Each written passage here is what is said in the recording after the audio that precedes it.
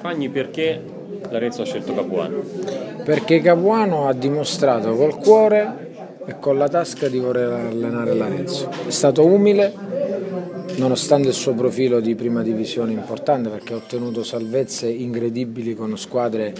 Lui con squadre costate pochissimo, a me personalmente mi ha battuto spesso però quando c'era da vincere nei dilettanti ha vinto, poi la, la carriera dell'allenatore è fatta tutti di up and down, però ha mostrato veramente, non solo dal punto di vista economico, dal punto di vista dell'atteggiamento.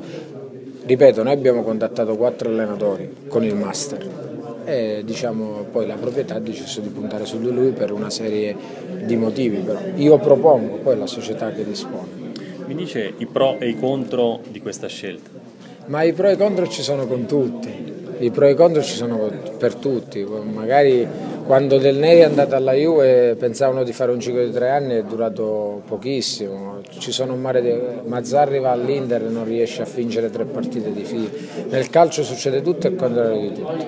Noi, io non voglio fare proclami, io voglio, voglio ribadire un concetto, la mia ricetta è lavoro, lavoro, lavoro, i risultati arriveranno.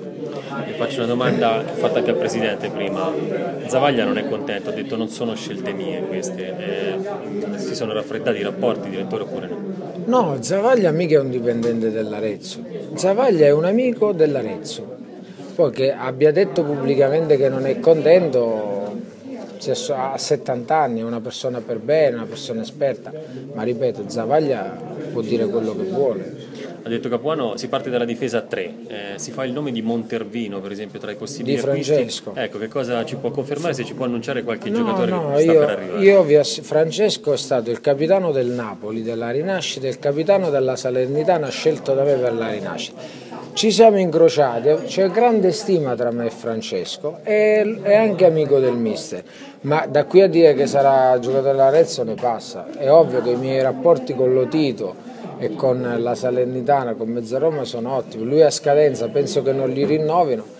È una personalità forte, è un leader ed è ancora integro, ha fatto 30 partite in C1 a Salerno, è un ragazzo di spessore, però da qui a dirvi sarà, però io a Ciccio ci sto pensando. Un'ultima cosa, può confermare prima gli under e poi gli over in lista di priorità? Sarà un mercato difficilissimo, epocale, perché tutti gli under si aspettano la Serie B e la C1. Quando capiranno che non c'è la C2, quindi saremo molto lenti.